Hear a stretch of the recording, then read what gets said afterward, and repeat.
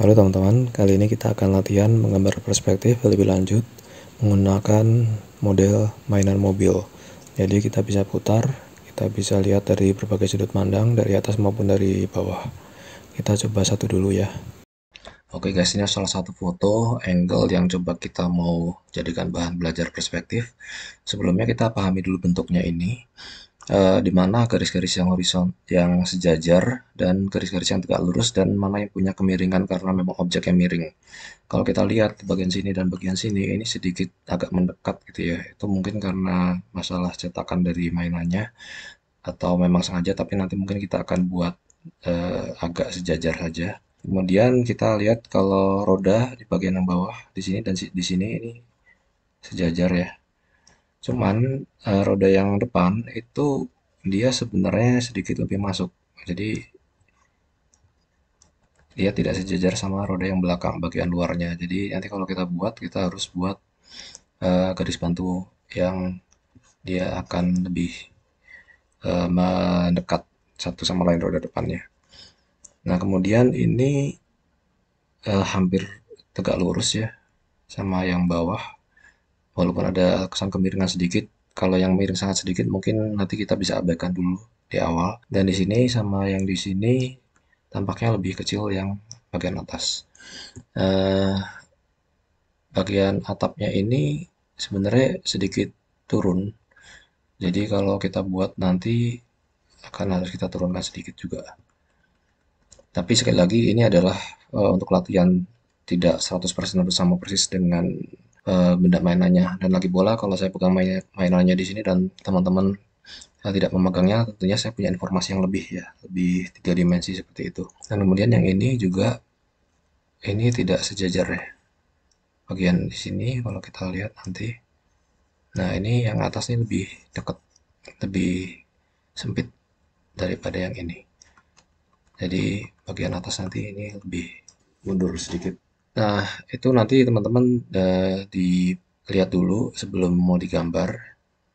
Ya, sejauh mana teman-teman bisa sambil gambar dan sambil uh, memperhatikan objeknya. Kalau udah cukup, kita akan mulai ya. Oke, kita mulai. Kita buat dulu seperti yang paling basic adalah bentuk uh, balok ya. Garis bantunya. Ini mengarah ke titik hilang, walaupun titik hilang tidak selalu harus kita uh, gambar lagi tapi kita tahu kira-kira arahnya ke mana. Untuk cek di bagian yang ini pasti harus lebih pendek sedikit daripada bagian yang ini. Karena ini lebih jauh. Kita coba potong bagian atasnya ini.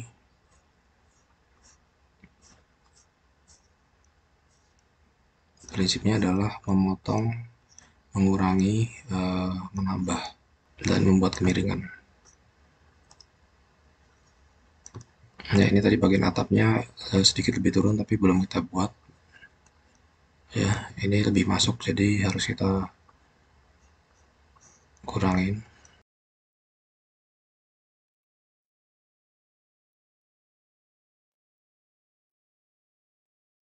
Ini sebenarnya ada kemiringan tapi kita buat tegak lurus dulu nanti baru kita buat kemiringannya.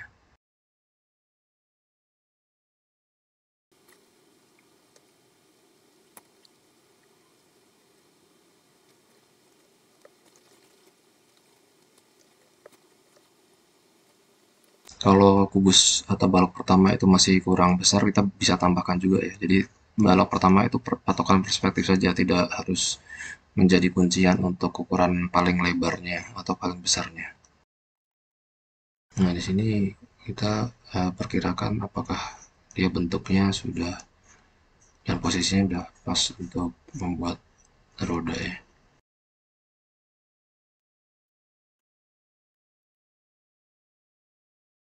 Uh, bagian ujung bagian ujung ini dia miring tapi kita buat dulu kubus dulu apa-apa uh, balok dulu maksudnya.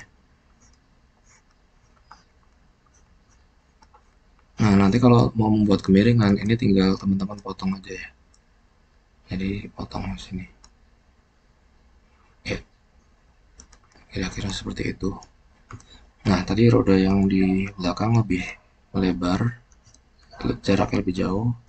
Yang roda yang depan lebih dekat jaraknya antara roda depan jadi nanti di sini memang terjadi perbedaan.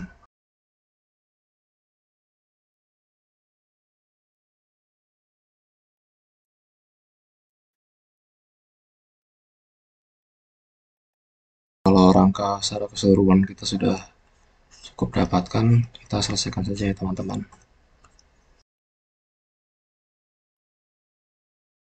Nah, satu tambahan lagi di sini tadi juga agak miring ya sebenarnya, tapi miringannya itu tidak terlalu tampak karena pengaruh perspektif. Jadi nanti kita lihat aja uh, bagian mana benda di benda itu yang memang punya kemiringan yang masih yang tampak, tapi ada juga kemiringan yang justru menimbulkan seolah-olah dia uh, sejajar karena masalah perspektif.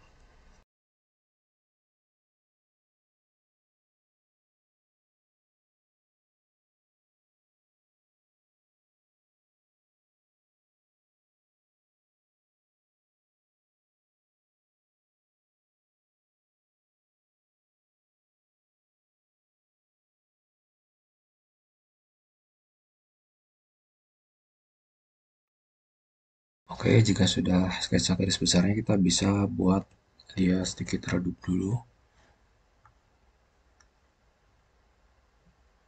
Uh, tujuannya agar kita bisa membuat detailnya. Oh ya, ini kita sedang lakukan dengan media digital, tapi untuk belajar perspektif itu bisa menggunakan apa pun eh, teman-teman uh, jika lebih nyaman menggunakan kertas dan pensil juga bisa dilakukan. Uh, hanya saja karena di sini proses untuk direkam jadi saya agak sulit untuk mengerjakannya dengan pensil dan kertas untuk perekamannya. Jadi saya gunakan digital. Sebenarnya apa pun bisa kita gunakan ya. Oke kita lanjutkan saja ya teman-teman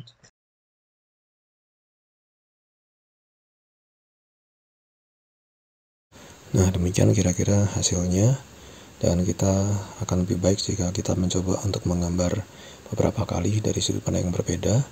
Kita coba sekali lagi, kita kali ini akan menggambar dari tampak bawah atau bagian bawah yang terlihat. Sama seperti tadi, kita buat dulu uh, baloknya yang kali ini menggunakan perspektif dua titik hilang dengan bagian bawah yang terlihat. Dan kita seperti tadi kita potong dan kita tambahkan dan kita buat eh, bagian-bagian uh, detail lebih lanjutnya.